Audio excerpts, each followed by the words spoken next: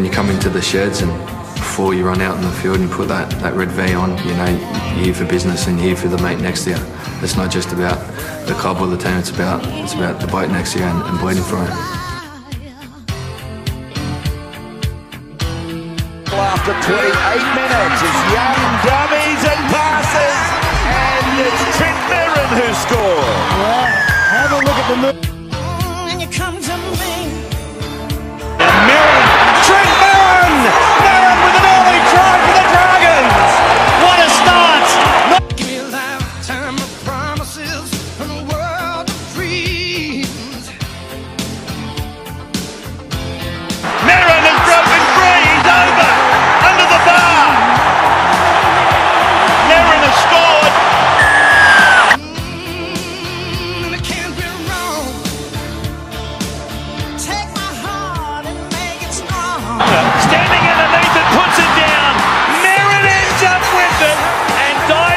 Fulton.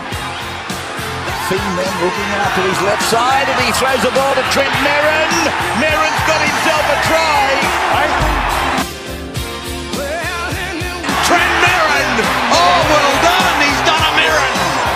Good try for the St George Illawarra back rower. And they hit the lead.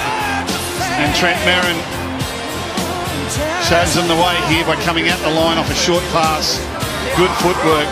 And then just surges towards the end goal. Have to do so, now a fresh set. That's Merrin. And he's able to get it away.